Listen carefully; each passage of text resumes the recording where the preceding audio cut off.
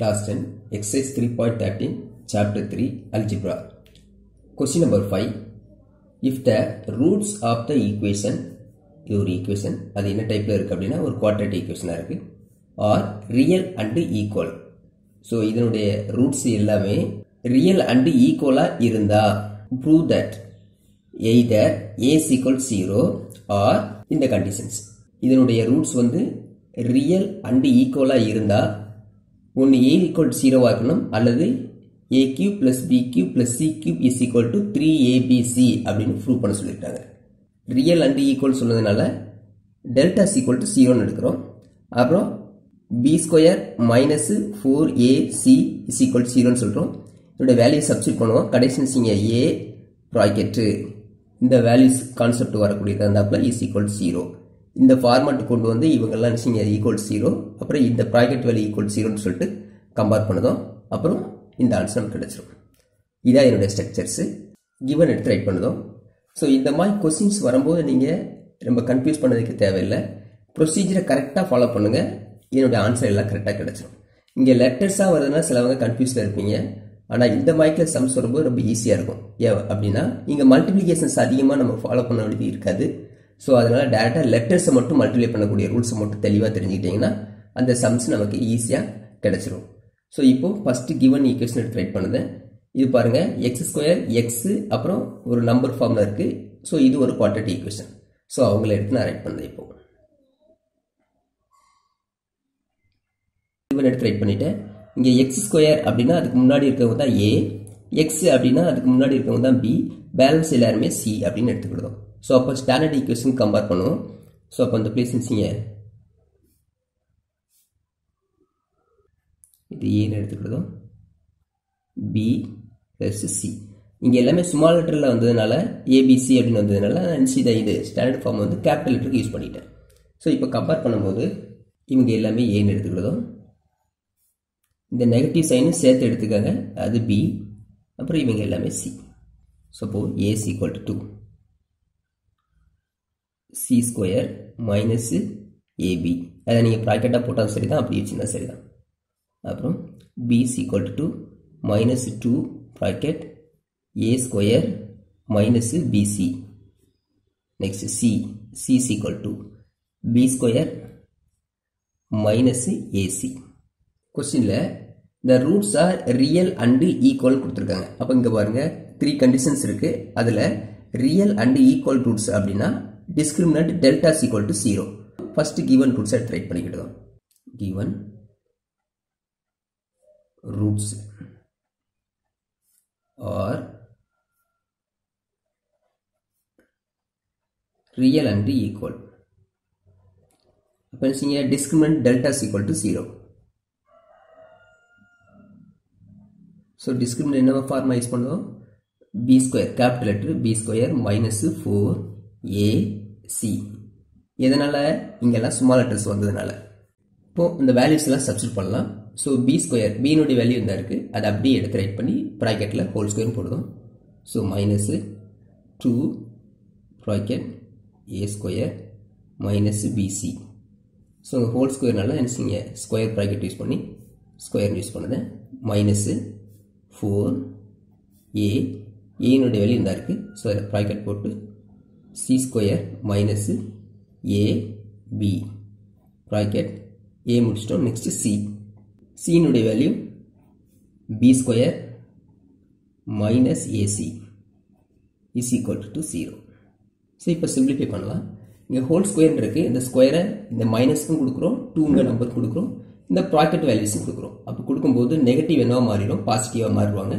டூவை ஸ்கொயர் பண்ணிங்கன்னா two two சார் ஃபோர்னு வந்துடும் ஸோ இந்த பிளேஸை whole square வச்சுக்கிடுவோம் A square minus BC bracket whole square minus four இந்த பிளேஸை ஒவ்வொரு டேர்மாக மல்டிப்ளை பண்ணணும். ஸோ அப்படி பண்ணும்போது என்ன செய்வீங்க அப்படின்னா ஃபஸ்ட்டு சி ஸ்கொயரை இந்த டூ டேர்ம்ஸ்க்கு நம்ம மல்டிப்ளை பண்ணலாம் C square into B square இது அல்பபெட்டிக் ஆர்டரில் பி தான் ஃபஸ்ட்டு வருவாங்க ஸோ அதனால் பி ஸ்கொயர் சி ஸ்கொயர் நான் ரைட் பண்ணுது இது மல்டிப்ளிகேஷன் ஃபார்மில் இருக்கும். ஸோ அந்த லெட்டர்ஸ் எடுத்து அப்படியே ஜாயின் பண்ணிக்கலாம். அப்படி ஜாயின் பண்ணும்போது நான் நினச்சிட்டேன் ஆர்டர் வந்து ஏபிசி அப்படிங்கிற ஆர்டரில் வரணும் அப்படிங்கிறதுக்காக வேண்டி ஆல்பபெட்டிக் ஆர்டரில் ஃபஸ்ட்டு பியாவும் செகண்ட் சியாவும் ரைட் பண்ணியிருக்கேன் நீங்கள் B square secondly C square வந்து ஃபஸ்ட் நீங்கள் ரைட் பண்ணிக்கலாம். அப்புறம் C square into minus AC so first simple plus into minus minus இங்கே சி ஸ்கொயர் இருக்காங்க மைனஸ் ஏசின்னு இருக்காங்க. ஸோ இங்கே சி லெட்ரு இங்கே சி லெட்ரு இருக்கான்னு பாருங்கள் இருக்காங்க ஸோ அப்போ அதை பவரில் ஆட் பண்ணலாம். அப்போ பவர் டூன்னு இருக்கும் இங்கே பவரில் ஒன்று இருக்குன்னு அர்த்தம். எதுவுமே இல்லை அப்படின்னா பவரில் ஒன்று ஸோ அப்போது டூ ப்ளஸ் ஒன்று த்ரீ அந்த ஏயை முன்னாடி அப்படியே ஜாயின் பண்ணிக்கலாம். செகண்ட் டேர்மை டூ பிளேசஸ்க்கு செட் பண்ணலாம். So first simple minus into plus minus இங்கே ஏ அப்படின்ட்டு இருக்க? இங்கே ஏ இல்லை. ஸோ அதை அப்படி ரைட் பண்ணிக்கலாம். நெக்ஸ்ட் பி இருக்குது இங்கே பி இருக்குது இங்கே ஸ்கொயர் இருக்குது இங்கே எதுவுமே இல்லைன்னா ஒன்று ஸோ அப்போ பவர் என்னச்சுனோ ஆட் பண்ணணும். அப்போ இங்கே பவரில் ஒன்று இருக்குன்னு மீனிங் ஒன்று ப்ளஸ் டூ த்ரீ ஸோ இப்போ பி பவர் த்ரீ அதாவது A power M into A power N is equal to A power M plus N இது பவர் ரூல்ஸில் இருக்கும்.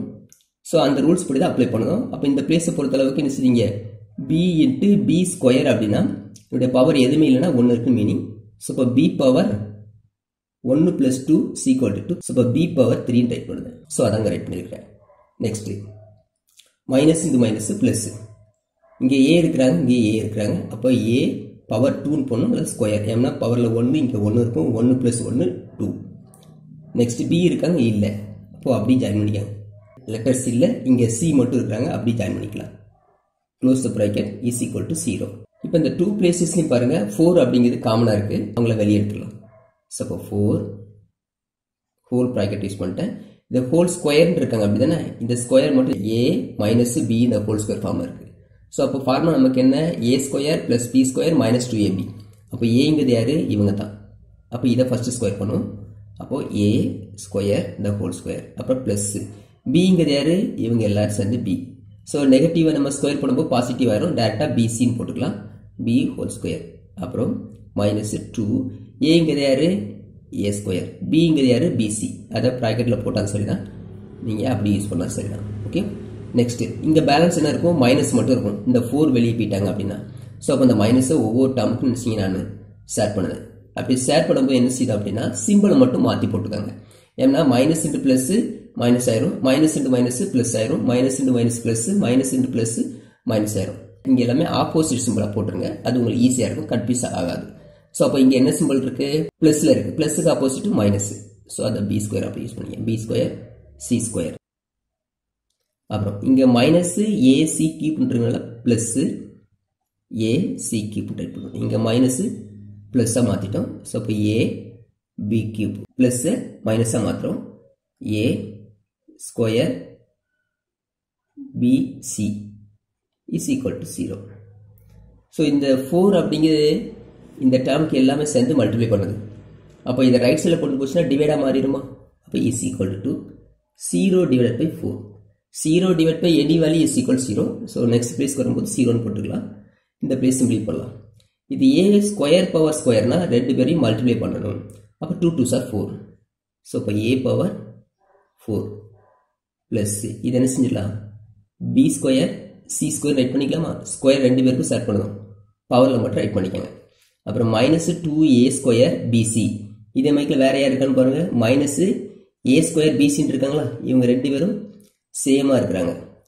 இங்கே மைனஸ் சிம்பிள் இது மைனஸ் சிம்பிள் இங்கே ஒன்றுன்னு இருக்கும் இங்கே டூன்னு இருக்கும். அப்போ சேம் சிம்பிள்னா ஆட் பண்ணிக்கலாம்.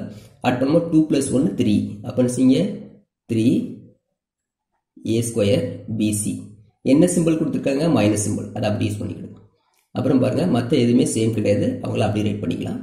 Minus B square C square plus A C cube plus A B cube ஓகேவா நெக்ஸ்ட் பாருங்கள் இதில் யாரும் சேமாக இருக்க மைக்கில் இருக்காங்கன்னு பாருங்கள் கட் பண்ணதுக்கு சான்ஸ் இருந்தால் ஸோ அப்படி இருக்கும்போது பாருங்கள் இங்கே பி ஸ்கொயர் சி ஸ்கொயர் இங்கேயும் minus B square C square இங்கே மைனஸ் சிம்பிள் இருக்குது இந்த ப்ளஸ் சிம்பிள் இருக்குது அப்போ இவங்களை கட் பண்ணிக்கலாம். இந்த பிளேஸில் எல்லா டேர்ம்லையும் ஏ ஏ ஏ ஏன்னு இருக்காங்க.